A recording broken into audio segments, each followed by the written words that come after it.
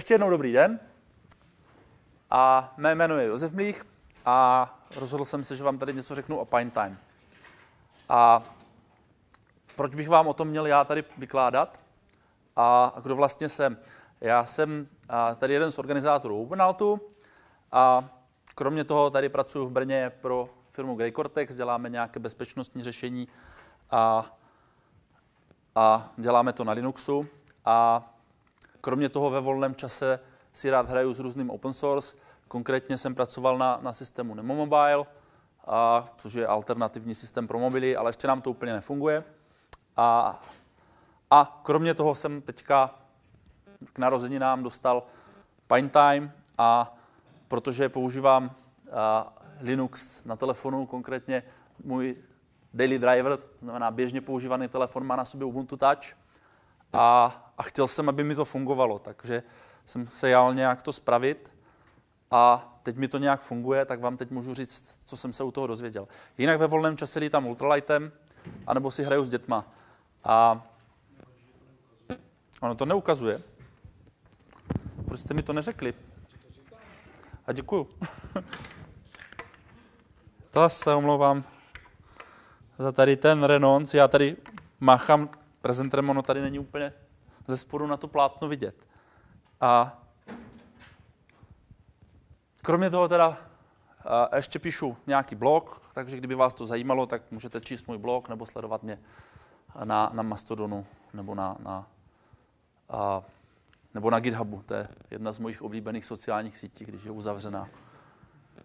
A, tak, Pine Time vypadají tak, že jsou to hodinky od, od Pine 64.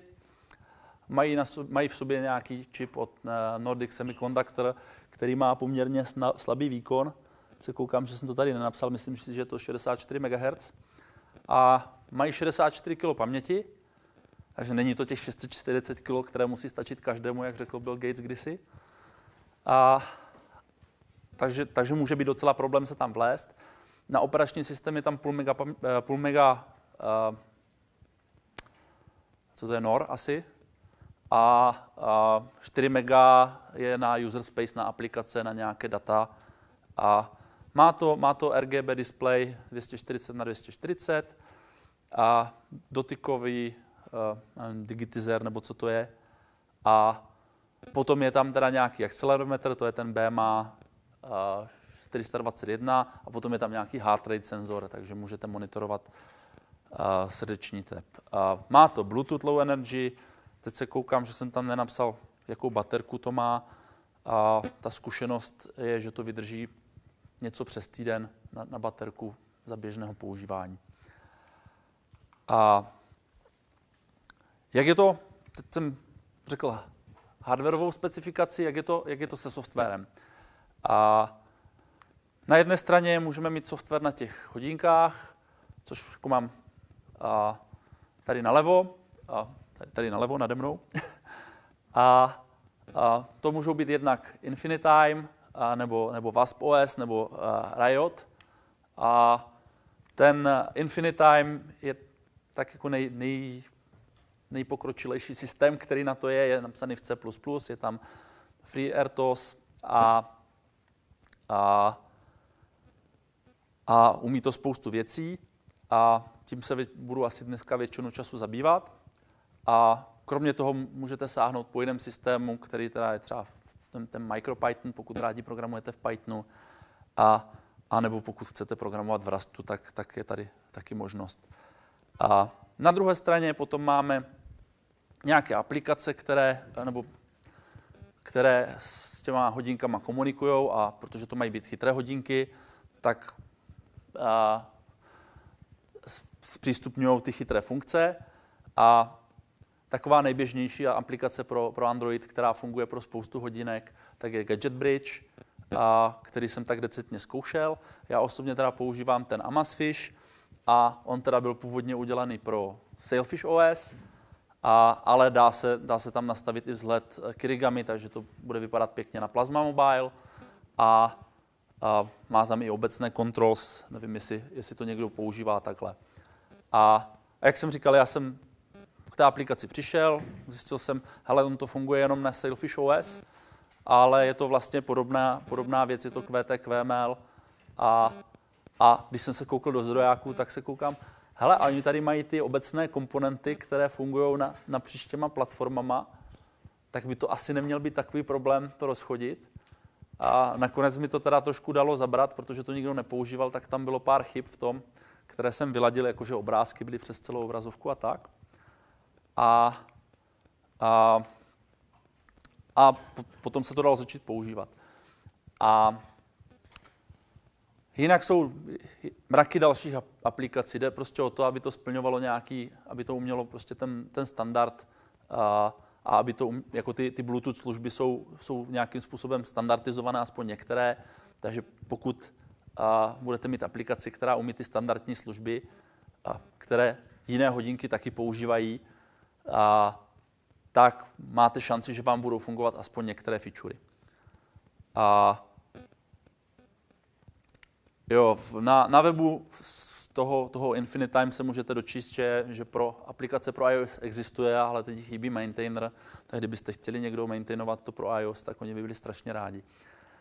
A jinak teda jakoby ta vize toho systému je taková, že to teda a, bude, bude a, nějaký jako rozumný firmware, který respektuje vaše soukromí, což je jako docela často problém, že ono to monitoruje vlastně vaši, vaši aktivitu, vaši srdeční aktivitu a tohle se posílá někam do cloudu a oni se snaží to dělat tak, aby, aby to respektovalo vaše soukromí. A tak, k čemu se vlastně takové jako chytré hodinky používají? Máte nějaké nápady, k čemu byste je chtěli používat vy? K záznamu trasy. Tohle, to, tyhle hodinky neumí, oni nemají GPS, takže, takže nezaznamenáš.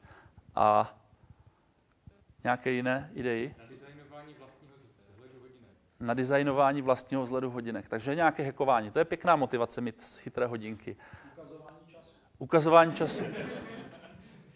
Hele, dobrý, ukazuje. A status report serveru, to znamená nějaká notifikace třeba ze zařízení, která spadne server, tak aby, aby jsem věděl, že mi spadl a utíkal tam to spravit.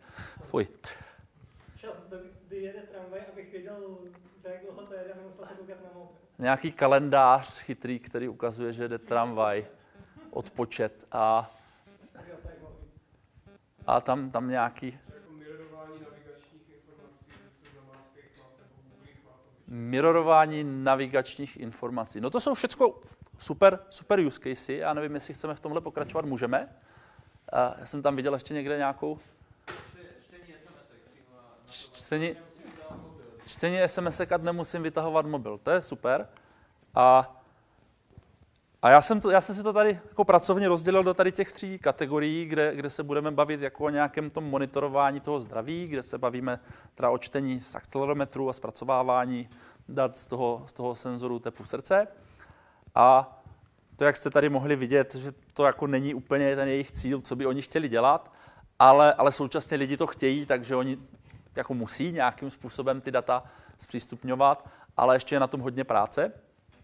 A ten stav je momentálně teda takový, že tu informaci z toho krokoměru a z toho heart rate senzoru dokážete z těch hodinek, nebo ty hodinky streamují přes to Bluetooth, ale to, co typicky vy chcete, je, aby se to zaznamenalo někam na ten NAND a potom jednou za hodinu se to synchronizovalo. Jdete si zaběhat, nechcete si sebou tahat na to mobil, aby, aby to do něj streamovalo real time, ale chcete si to, až se vrátíte domů, aby se to nas- nasynchronizovalo, abyste měli pěkný graf toho, jak to funguje. A co se týče těch oznámení a čtení SMS, to je takový druhý use case, ten, ten taky nějakým způsobem funguje.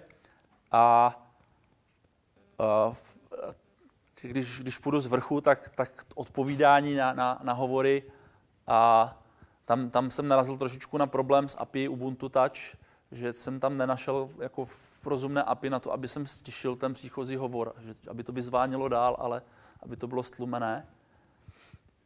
A nicméně hodinky to umí, takže když si vezmete Gadget Bridge na, na Androidu, tak, tak to můžete udělat. A, a na Sailfish OS si teďka nejsem jistý, popravdě řečeno. Ale tam jako podpora pro od, zvednutí nebo položení toho hovoru tam určitě je. Co se týče jako čtení těch uh, e-mailů, chatů, tak tam je trošičku problém, že ty hodinky mají opravdu 64 kg paměti, takže aby, a, aby jste si nevyžrali celou paměť jenom na oznámení o SMS-kách, tak máte limit jako pět možných oznámení a každé to oznámení má maximálně 100 bajtů. Takže jako celou SMS si na tom opravdu nepřečtete.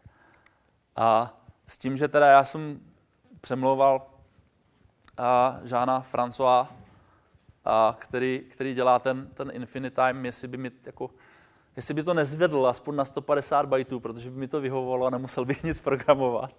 A je to změna jednoho čísla a on byl teda skutečně neoblomný, že jako jim to fakt jako žere hodně paměti a, a, a není možné jako eh, z toho slevit.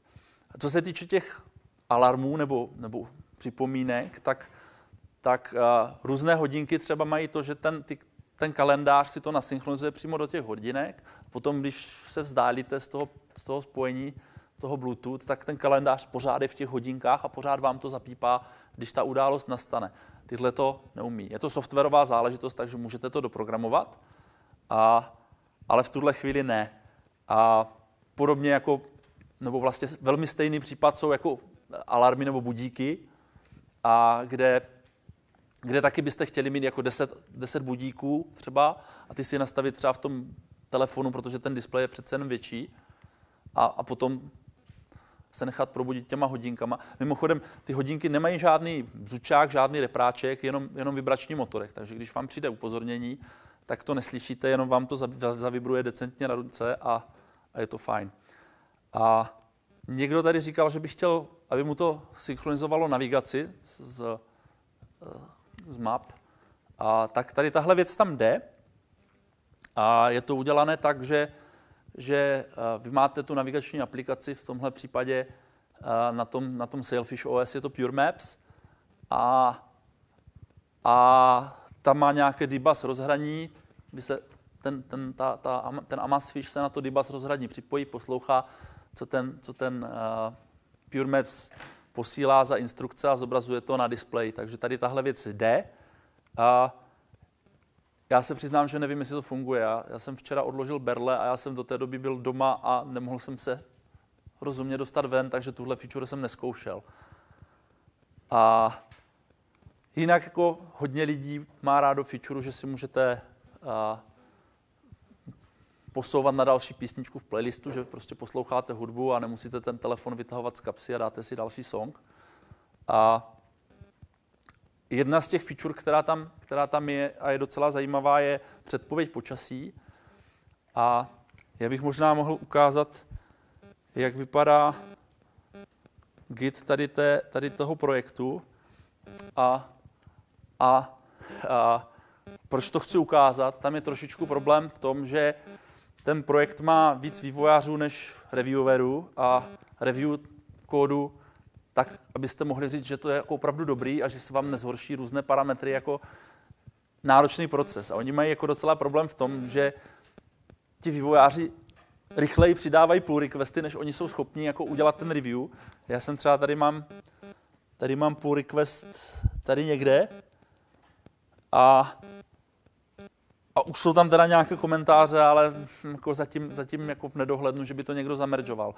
A stejně tak jako je tam poměrně živá diskuze o tom, že jsou tam nějaké problémy, že někde něco nefunguje a je to prostě open projekt, takže, takže je to jako problematické. A takže tím vás chci jako odradit, hele, je to super, můžete si to naprogramovat, ale, ale bude poměrně těžké to dostat do toho upstreamu. Budete muset přesvědčit hromadu lidí, že ten váš kód funguje dobře a současně ještě, že to splňuje jejich představu o tom, jak oni by to chtěli mít. A jo, co se týče té předpovědi počasí, já vám to možná ukážu ještě jinak. A jsem si tady nachystal někde hodně daleko hm, nějaký slajdík. Když to budete chtít vyvíjet, tak si můžete tady pustit nějaký uh, simulátor a který vypadá takhle nějak. A vlastně to, jsou, to je celý ten software, ten operační systém těch hodinek, s tím, že teda ten simulátor má uh, emulované přístup k tomu hardwareu a pomocí nějakých hotkeys, které já si úplně teďka nepamatuju, můžete, jo, tady, tady je vidět nějaký, oh, a, jo, pravým tlačítkem. A tady je nějaký krokoměr a tak dál a prostě můžete do, toho sypat nějaké data, které emulují ty výstupy toho hardwareu, kolik je baterky a tak dál. Můžete se podívat prostě na, na ty aplikace typu, já nevím, tady jsou stopky a alarmy a zrovna ta, to vylepšení moje se týkalo alarmu, ale není tady. A je to celé v C++, tady ten Infinitime. Jinak, jinak kdyby si chtěl ten WASP-OS, tak, tak ten je MicroPython a, a je tam i ten rastový, rastová věc. A, a co se týče uh, to, té počasí, té featurey počasí, tak je tady docela neintuitivní, když podržíte jako na displeji tři vteřiny jako prst, tak se vám objeví tohle menu a můžete si zapnout počasí, jinak tam to počasí není vidět. A aplikace v počasí, a to je druhý důvod, proč jsem chtěl ukázat tady ten, tady ten Git, tak tady má poměrně dost merge requestů, které ještě visí na tom, že to chtějí nějak vylepšit a, a prostě to počasí není podle mě v úplně dobrém stavu, i když oni říkají, že to je jako hotové a funkční, a, ale, ale odsud pocud. Tak, jo, to jsem vlastně ukázal, že vlastně můžete to vyvíjet nějakým způsobem simulátoru a typicky teda začínáte od uživatele, ten zjistí, že by něco chtěl jinak, tak vám to popíše, že jo, potom jdete do toho simulátoru, nakodíte to a potom zjistíte, no jo, a mně by se líbilo, a, ale ta feature musí být, musí být implementovaná a funkční na těch hodinkách, protože, protože v tom simulátoru prostě nemáte to, to Bluetooth uh, zpřístupněné, takže, uh, takže stejně musíte jít na ten hardware. Tam teda já jsem zapomněl zmínit, oni ty Time prodávají ve dvou variantách, jako DevKit a takzvaně sealed variantu, kde to je prostě já nevím, zalité lepidlem. A já mám tady tuhle variantu a, a tam, tam vlastně vy a, a, můžete přes Bluetooth nahrát novou verzi firmwareu, je to poměrně bezpečné. A když vám to nějakým způsobem umře, tak vy 10 vteřin podržíte tady to tlačítko, co je tady na boku, ono se to restartuje a vrátí se tam předchozí image. Vy musíte, pokud máte nějaký testovací image, který by mohl dělat problémy, tak nesmíte kliknout jako potvrdit, aby je to přepsalo na, na, na, na to druhé místo, odkud se načítá ten záložní image. Takže jako je poměrně bezpečné jako na něco vyvíjet, ale problém je, že stejně když jako tam něco nahrajete a nemáte tu sériovou linku, protože ten konektor je uvnitř, není vyvedený zvenku, tak tak eh, prostě jako ne, neodladíte nic, neuděláte ani printf. Jo, a vzhledem k tomu, že to je jako uh, eh, 64 kg paměti, tak, uh, tak jo, nedá, nedá se s tím potom, potom moc, moc ladit ten software. Bohužel tam není, není implementovaný ani, ani UART přes Bluetooth, ani že by to ukládalo do nějakého logu. A ten by se potom přes nějaký ten BLFS dal stáhnout, a, ale není to nic, co by nešlo udělat, prostě to tam v tuhle chvíli nemají. A s tím, že možná to udělám já. No. A nakonec teda máte úžasnou aplikaci, ale potřebujete ještě mít tu druhou stranu, ty, ta, ta, ta chytrá aplikace. A jo, já jsem třeba uh, řešil, řešil nějaké uh, feature, prostě chci najít z hodinek telefon. Tak ujíčko na, krásně nakodím v simulátoru a potom mi to nekomunikuje přes Bluetooth, tak to musím nějak odladit v těch hodinkách. No a nakonec stejně potřebuji ještě tu druhou stranu, potřebuji mít tu aplikaci, která bude rozumět tomu immediate alert service a bude prostě poslouchat na druhé straně, když, když přijde požadavek. A, takže to je, to je další krok. To jsem tady chtěl ještě taky ukázat. Máme spoustu času, tak Já se přiznám, že úplně do detailu jsem si nepři, nepřipravil. To všechno tady vám, vám řeknu, protože to bylo relativně na poslední chvíli, ale zase mi přišlo škoda vám tady ty hodinky neukázat. A jinak takhle teda vypadá ta, ta aplikace Amazfish, kterou, kterou já jsem a, kterou já jsem uh, upravil, aby běžela pod tím Ubuntu. Takhle to vypadá teda na tom Ubuntu. Normálně to spárujete, můžete to spárovat s různými typ, typy hodinek. A je tam jakoby nějaké obecné rozhraní, které jako nějaká factory, nebo jak se jmenuje ten návrhový vzor, prostě vám to vytvoří třídu uh, nebo instanci třídy, prostě, která patří k tomu jinému typu zařízení a každá z nich prostě implementuje uh, nějaké, nějakou adaptaci, nějaké přizpůsobení, protože každé to zařízení má trošičku jiné featurey, má trošičku jiný protokol. A například jedno, jedna, jedna z těch hodinek, které by s tím měly fungovat, jsou Bangle.js, které, které tady bude mít zítra přednášku Pavel Machek, jestli dorazí, a které, které ten protokol mají právě oproti tomu Pine Time a výrazně jiný, že oni tam jako hodně komunikují pomocí různých nějakých javascriptových divných věcí. A, a to, jak to potom vypadá, je jako vidět tady na, na tady tomhle, na, na těchto obrázcích, vlastně úvodní obrazovka je tady, ta, tady, tady, ten, tady to kolečko s tím počtem kroků.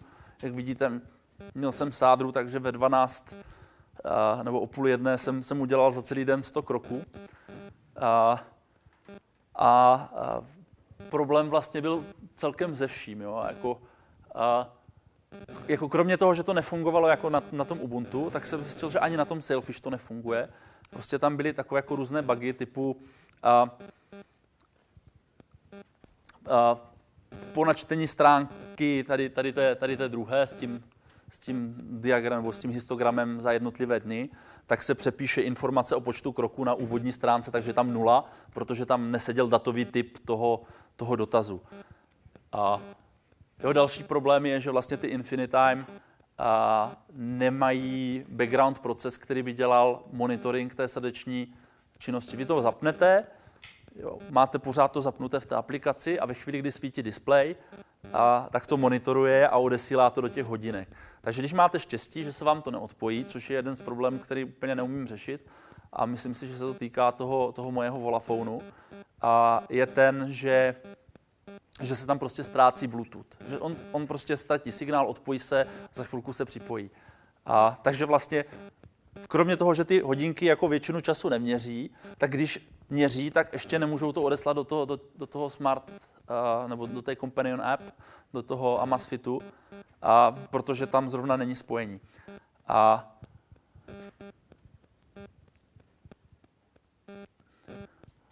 A na druhou stranu, když už to něco měří, tak to může vypadat nějak takhle, vám to udělá jako histogram za, za celý ten den, a nebo, nebo jakoby, tohle, tohle je histogram, že vlastně a tam to vypočítá na základě věku a vaší hmotnosti, kterou si nastavíte v nastavení, a nějaké parametry, jaká, jaká srdeční aktivita už je jakoby intenzivní a jaká ještě ne. Prostě čím jste mladší a, a pokud, pokud nemáte nějakou extrémní váhu, tak, tak se to celé posouvá nahoru, což je docela zajímavé. To, co jsem tam doimplementoval, taky je tady takovýhle nějaký graf pro, pro zobrazování baterky. Mimochodem,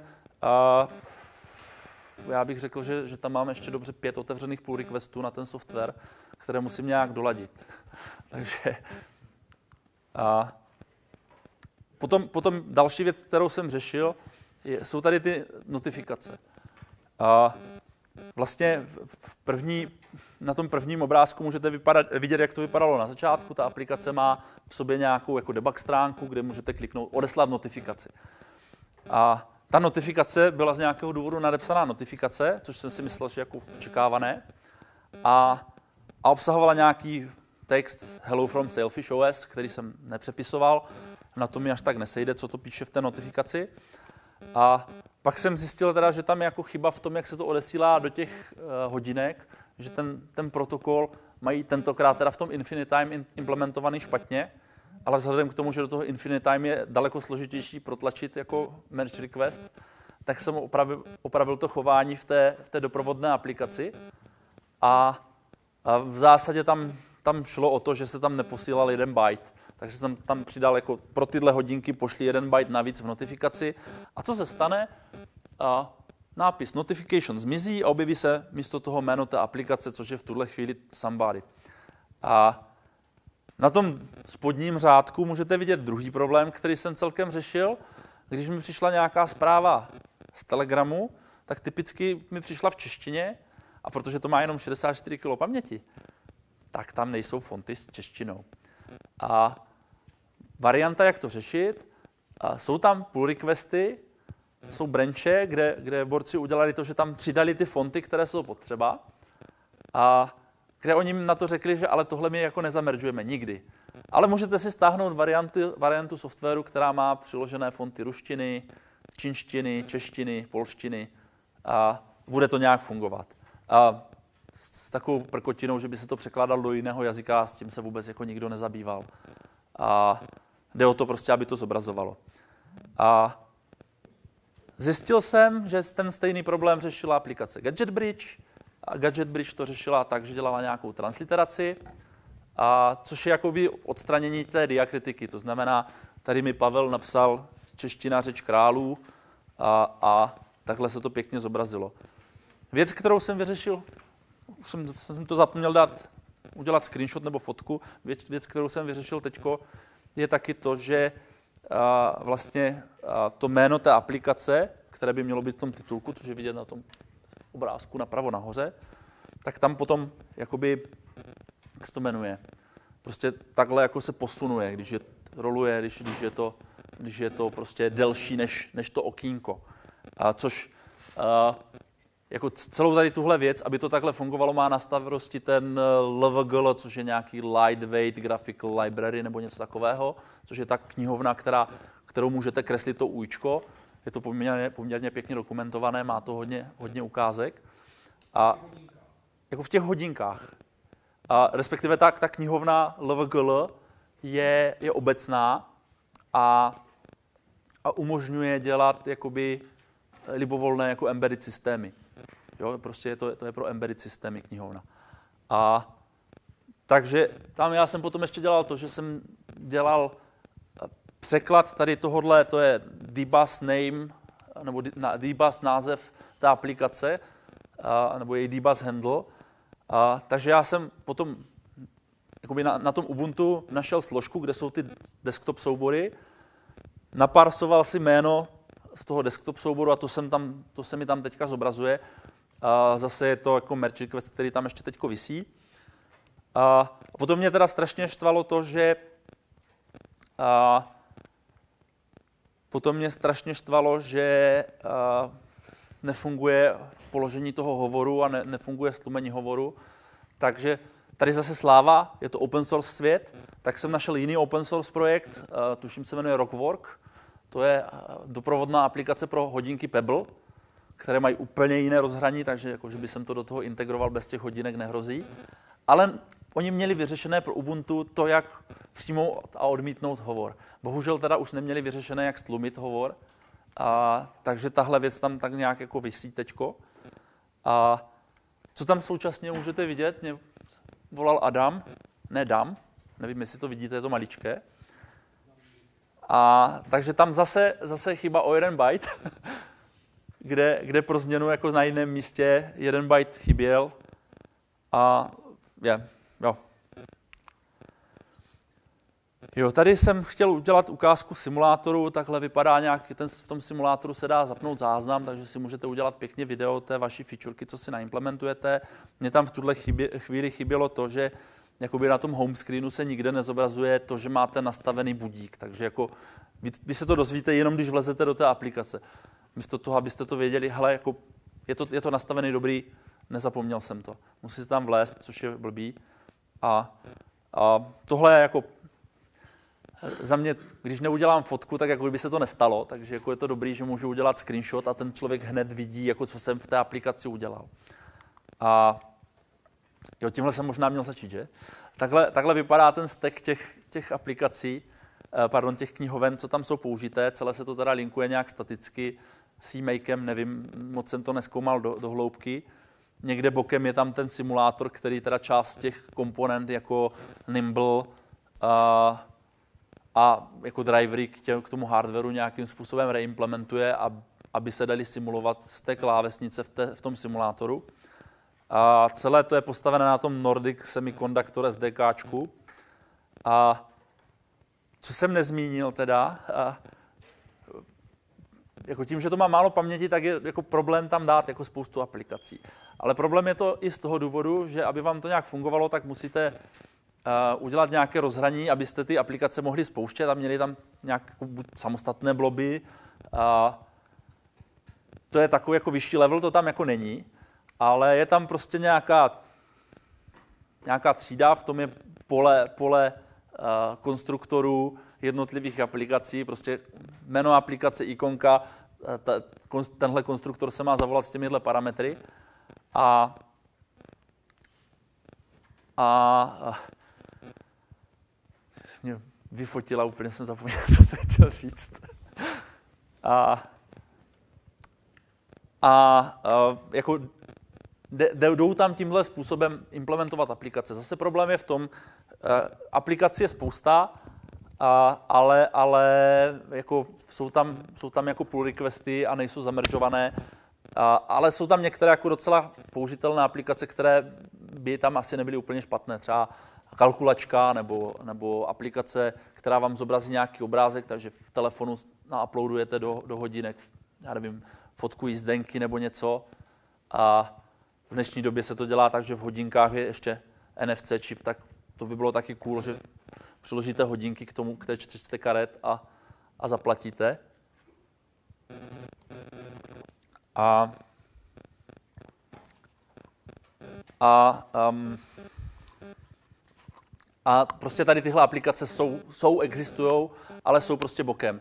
Jo, protože když je tam všechny dáte, tak vlastně nic nespustíte, protože vám to vyžere celou paměť a, a nejsou, ve spoustě případů nejsou napsané zřejmě optimálně. Ono je potom otázka, jestli, jestli ti vývojáři toho Infinitime, ten, ten Jean-François, jestli nejsou moc uh, přísní a jestli prostě zbytečně jako to neskoumají až moc do detailu, že možná by udělali líp, kdyby zameržovali jednotlivé ty změny a aby to fungovalo dobře. No, tady jsem si říkal, že vám něco řeknu o tom, jak funguje Bluetooth Low, low Energy. A došel jsem teda k závěru, že si to musím víc nastudovat. Jsem byl moc optimistický, že to přece do té doby zvládnu. Ale v zásadě, v zásadě v tom Bluetooth Low Energy existuje něco jako General Attribute Profile, což má tu zkratku GATT. A to je nějaký takový jako jednoduchý protokol, jak v rámci toho Bluetooth Low Energy komunikovat. Prostě o co jde? Když použijete standardní Bluetooth, tak to bude žrát strašně moc energie. Když použijete to Bluetooth energie, uh, Low Energy, tak, tak to vydrží snad ten týden a víc, tak jak mi to vydrží teďka, nevím, těch 10 dní zhruba. S tím, že a, tam máte nějaký profile, a to, je, to je ten General Attribute Profile v tomhle případě. Uvnitř je nějaká ta služba, a ty služby, které tam jsou, je třeba Immediate Alert Service, nebo, nebo Notification Service, nebo Current Time Service. Když se podíváme do toho zdrojáku, a nevím, jestli to možná tu trošičku zvětším, třeba to bude vidět, tak tady je to jako poměrně pěkně, ono to odpovídá trošičku i tady tomuhle obrázku, jo, ale to poměrně pěkně rozdělené do jednotlivých komponent. Tady můžete vidět, že máte drivery, tady máte komponenty a BLE, a tady jsou vlastně všechny ty Bluetooth služby. Jo, takže tady je nějaká Alert Notification Service a vidíte, že to je prostě klasické C++ a a tam jsou vlastně, tady u toho Alert Notification Service, tam vidíte ty možnosti, jaké alerty se tam můžou posílat.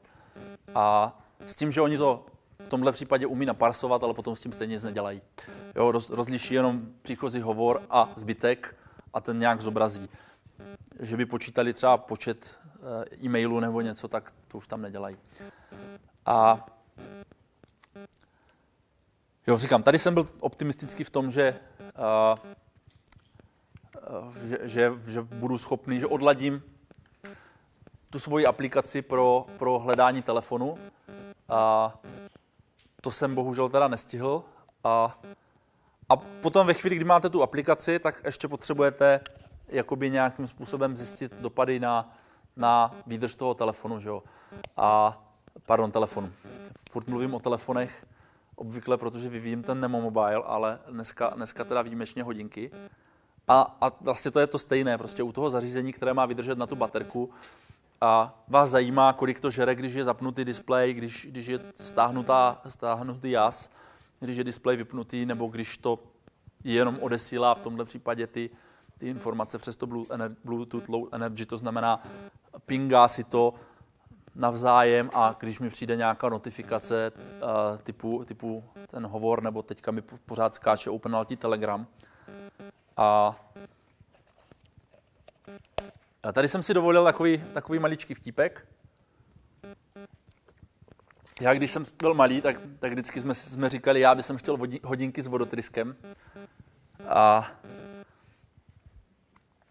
a takže teď jsem vám ukázal zhruba, co ty, co ty Pine Time umí. Tady jsem nějak jako vypsal ty featurey ve spolupráci s tím, s tím Amazfish. A je otázka samozřejmě, co, co byste vy si představovali od hodinek. Takovýchhle chytrých, šikovných, co by měli umět. A mám tam občas hvězdičky a, a to a to třeba u toho párování, tam, tam to bylo myšlené, že ten Amazfish má občas problém. A jednak u jiných hodinek, které, které mají nějaký složitější párovací protokol, tam, tam typicky ten návod takový, že tady si vygenerujete kód na Androidím telefonu a nahrajte to tedy do toho, do toho Amazfishe. A co se týče těch hovorů, tak tam to není zameržované, tam je to zatím pull request, já to teda běžně používám, takže, takže nepadá to zatím. A co se týče u, toho, u, to, u té synchronizace těch kroků a, a srdečního tepu, a tam, tam to teda jako odesílá jenom tu aktuální informaci, neukládá to a nesynchronizuje se to jako offline třeba po hodině nebo v nějakých intervalech. A a současně jakoby třeba v tom, v tom, jak to dělají ty ostatní hodinky, bývá ještě jako nějaká klasifikace aktivity. Jo, takže tam by bylo hezký mít nějakou neuronovou, neuronovou síť, slovy jeden neuron, a, a natrénovaný nějaký model, který, který se do těch hodinek vleze a, a bude schopen identifikovat tu aktivitu na základě těch vstupních dat. To znamená, máte tam ten akcelerometr, který má tři osy, máte tam ten, ten srdeční senzor, máte tam a, pravděpodobně i další věci, jako jestli je zapnutý displej, by se dalo vzít jako, jako možnost, nebo kdy byl naposledy zapnutý displej, se dá vzít jako feature pro ten rozpoznávač. A tohle tam prostě není implementované. Na druhou stranu, jako tím, že to celé open source, tak je to jako pěkné vstupní místo třeba pro, pro diplomky a, a podobné práce, kde, kde si to prostě může vzít student, může se tomu věnovat a dá se to udělat a, a bude to fungovat na reálném zařízení, na reálném hardwareu, což mi přijde jako dobrý. A bohužel v tuhle chvíli to není. A, a jo, mám to taky s hvězdičkou kvůli tomu, že tam byl problém s tou synchronizací kroku, že tam, že tam je, ale to už je zameržované, to jsem, to jsem nějak, tam, tam byl prostě překlep, že tam, že tam byl blbý datový typ v jednom místě. Jo, z té aplikace můžete odesílat nový firmware do, do, toho, do těch hodinek, a kde jsem teda vysvětloval, jak to funguje, že, že pokud tam nahrájete blbý firmware, tak se dá jako vrátit o krok zpět, což je dobrý. A co jsem ale zjistil, že ten, že ten Gadget Bridge ten firmware nahrává výrazně rychleji. Jo, jakože s tím, s tím Amazfishem se ten firmware nahraje, já nevím, za dvě, tři minuty. A a s tím Gadget Bridgem to je prostě za půl minuty. Nevím, musím se ještě podívat, co tam je. A proč si to posílá jako menší čanky, nevím. A což, což teda jakoby tam je nějaký Bluetooth FS, nebo BLEFS, jako Bluetooth Low Energy file system, a kde ten protokol umožňuje se dotazovat na všechny soubory na tom file systému, takže tímhle způsobem byste teoreticky mohli měnit třeba pozadí hodinek nebo něco. No myslím jako toho watch, watch faceu, a, nebo případně tam nahrát jako nový. A tohle jako hodinky umí, používá se to pro to flashování toho firmwareu, ale, ale jakoby nějaký file manager, který by mi umožnil si najít, najít uh, jednotlivé soubory v tom Amazfishi není. A na druhou stranu můžete vzít jiného klienta, spárovat to s tím a, a dá se koukat prostě na něj, a na, na, na, na tohle. A jinak teda jakoby zajímavé, zajímavé nápady, které jsem viděl, byly, že, že někdo by chtěl jako vzdáleně ovládat něco, že si prostě naprogramuje libovolnou aplikaci, ať už třeba foťák a bude, bude mít jako samospoušť, nebo jak to říct, vzdálené ovládání spouště foťáku. A jiné hodinky to mají, je to potřeba implementovat k tomu aplikaci, vzít prostě nějaký vhodný a ten, ten Bluetooth Low Energy profil a, a, nebo tu službu toho GAT profilu a implementovat to tam. Problém tady tohohle Bluetooth Low Energy standardu je, že je poměrně dost složitý a, vývojáři Infinitime by chtěli spíš tady tohle, protože když neimplementujete něco podle standardu, tak máte dobrou šanci, že to bude umět i někdo jiný, že nebudete v tom sami a a pravděpodobně ta věc se bude dát použít i třeba pro jiné hodinky nebo pro jiné zařízení. A jinak mě by se líbilo, jako kdyby se, kdyby se dala dělat vzdálená konfigurace a, čehokoliv. A, a jako já jsem zastáncem toho, že ne, nepotřebuji nutně být schopen nastavit, já nevím, jestli teplota se zobrazuje ve stupních Celsia nebo ve Fahrenheitech. A když se to dá nastavit v té, v té doprovodné aplikaci, tak to nemusí být prostě na tom zařízení. Naopak ten user experience z toho bude jednodušší. A, no a samozřejmě by to měly být hodinky s vodotyskem, ale to je jako a, future feature. A jak jsme na tom časově. A jinak samozřejmě je to open source, tak existují různé forky a já tuším, že se tam hlásíte, tak si zkuste najít někde mikrofon. Nevím, kdo ho má. A existují různé forky a nějaký a, Portugalec, myslím, se jmenuje Joachim, a udělal Pine Light fork a, a udělal tam tady ty kouzelné, barevné, a, zajímavé watchfacey, nebo jako změnil ikonky a tak. A Dokonce se proslýchá, že, že pracuje na nové verzi těch Pine Time, že budou Pine Time 2, a, ale nevím, co je na tom pravdy.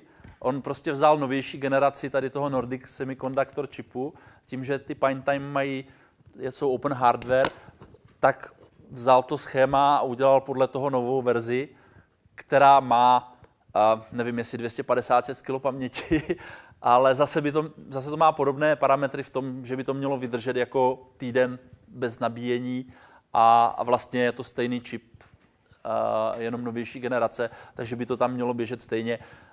Animace mu tam běžely rychlejš, plynulejš, což je jako docela problém, když chcete na takovýchhle hodinkách pustit video, tak to prostě nejde. Nebo nějakou animaci, aby to bylo jako blikalo, hýbalo se to. A a to je tak jako plus minus všechno, co jsem měl nachystané. Ještě tady mám krátkou ukázku. Kdyby vás zajímalo, psal jsem článek na Root o tom, jak se vyvíjejí aplikace pro, a, pro Ubuntu Touch. A tady vám to můžu krátce ukázat. A já tady mám teda ten Amazfish, asi bych to mohl trošičku zvětšit. A když ho chci ladit a spustit, tak nainstaluju si nějaký clickable, což je prostě uh, wrapper Pythonový nad dokrovými kontejnery. A, a, a pomocí nějakých příkazů, které oni tam mají, můžu vyrobit nějakou základní aplikaci ze šablony a z toho můžu začít to upravovat. A jsou tam příkazy jako clickable build, clickable desktop, který vám to pustí jakoby lokálně a jak ty aplikace vypadají, jsem se snažil trošičku popsat uh, i v tom článku. Uh, prostě je to, je to uh, zabandlovaná celá aplikace se všema knihovnama, které potřebujete.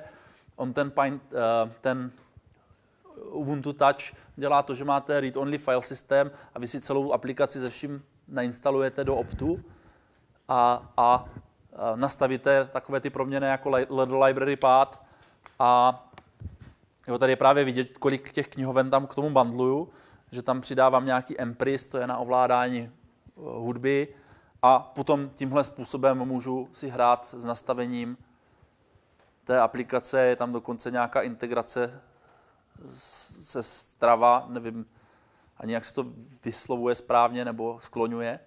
A je to nějaká ta, že tam můžete hlásit ty uh, Sportovní výsledky, jako ano, že to můžete zveřejnit přes to, děkuju. A zveřejňování základen, to je, ano, to je, to je druhý use case samozřejmě. A, a, takže má to nějakou integraci, ale já jsem to neskoušel, nemám tam účet. A, jako dá se tam dělat spoustu nastavení, a, takhle, si, takhle můžu jakoby ladit u, u těch hodinek, jako třeba ten hovor nebo, nebo stahovat nějaké debug info.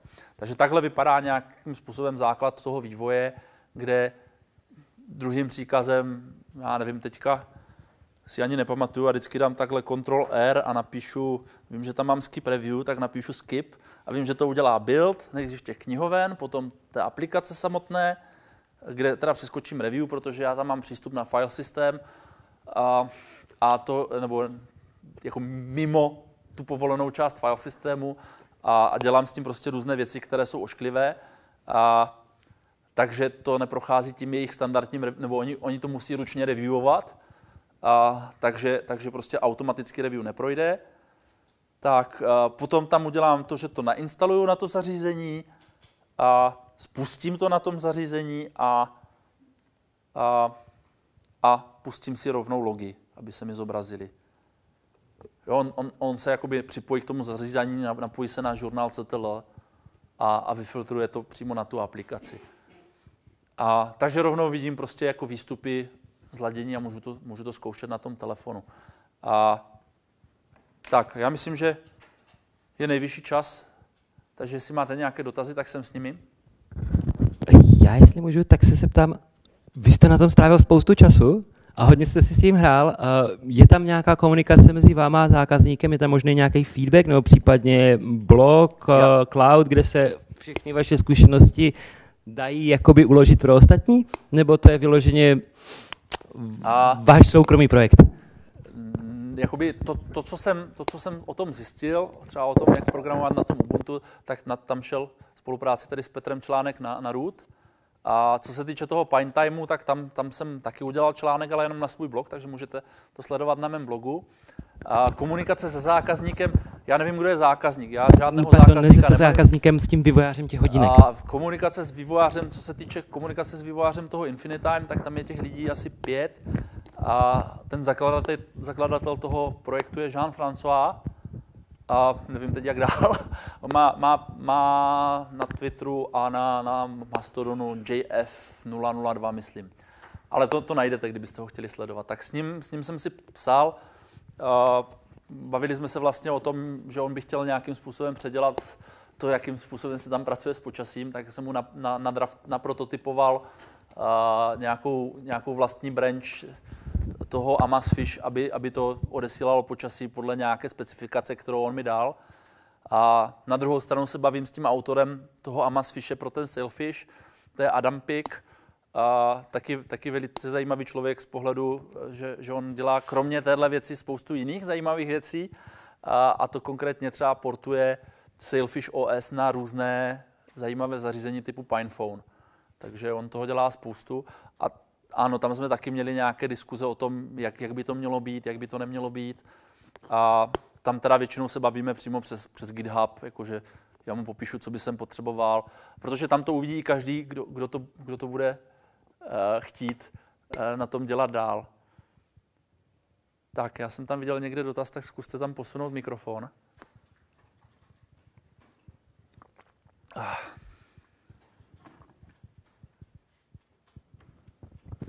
Já bych se chtěl zeptat, eh, já tomu teda až nerozum, tolik nerozumím, ale když jsem si zkoušel aplikaci pro ten Nordic NRF 52840, myslím, to je novější verze, tam má možná těch 256 kg, nejsem si jistý, ale pokud to chápu správně, tak ten, eh, ten Nordic je, pod, eh, je postaven nad Zephyrem, operačním systémem, jako volně šiřitelným, což byl nějaký projekt Intelu původně, a pak ho, teď už ho spravuje open source komunita, tak proč se tam vlastně využívá FreeRTOS a ještě ten Nordic SDK, který je vlastně, jako kdyby, pokud to chápu správně, fork toho Zephyru, akorát obohacený od nové knihovny novou funkcionalitu, tak proč to není celé v tom Zephyru, když mi připadne, že výhoda toho Zephyru je právě ta ta uh, abstrakce na ty desky, že ten software můžete vyměnit pod tím tu desku a ten software s menšíma úpravama bude vám, fungovat uh, stejně, pokud to bude ten hardware podporovat, jo? ale je tam jakási přenositelnost, když tady se uzavíráte na ten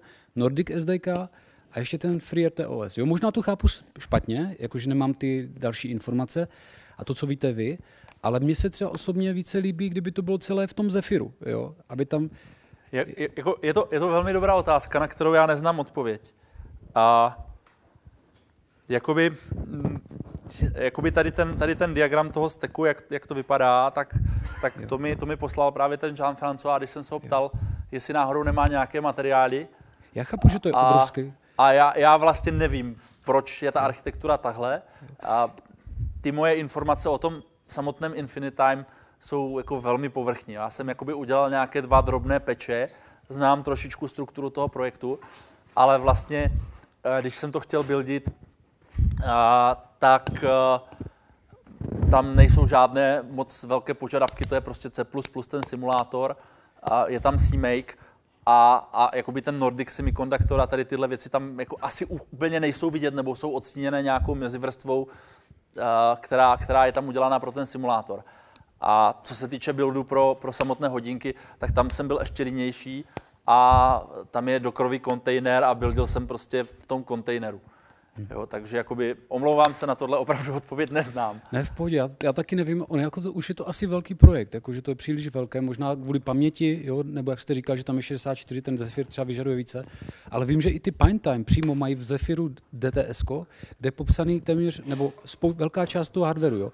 Eh, akcelerační senzor, hard rate senzor, display, vlastně ten hardware je vám přístupný, pokud to chápu správně, na té úrovni toho operačního systému celkově, jo, takže už stačí, nebo stačí jenom, můžete se soustředit na ten software nad tím, který by případně byl přenositelný pro jiný, eh, jiný, jinou desku. Jo? Kdyby někdo vytvořil nějakou, nějaký jiný hardware, jiný layout s tím samým čipem. Ale to je jenom můj, jako můj pocit z toho, já nevím. Jo? Do teďka jsem se nedozvěděl nebo nepochopil jsem z internetu nějakých informací, proč tam vlastně ten OS a ten Pav, já nevím, OS. jestli jste si to stihl přečíst, ale Pavel Píšak ne. k tomu psal komentář. Tady na Telegram. Akorát nevím teda kde. tady, a, který teda má, má s hardwarem větší zkušenosti než já. A jako všechno, co říkáte, mi, dá, mi dává velmi dobrý smysl. Já netuším, proč oni, oni se rozhodli. A, to dává si smysl. A, tak, jak se rozhodli. A no. Jo, oni tady po mně chtějí, aby Ale jsem asi, tady pustil Asi stream proto mají důvod, že, že přešli na ten Zephyr, že to je... Do další místnosti. Takže uh, takhle. Uh, já myslím, že nám utíká čas, takže pokud, pokud se chcete pobavit, tak uh, já tady určitě budu celý zbytek konference. A většinu času teda tady v posluchárnách, ale o přestávce se můžeme určitě klidně bavit dál. A, takže já vám děkuji za pozornost a budeme se chystat na další přednášky.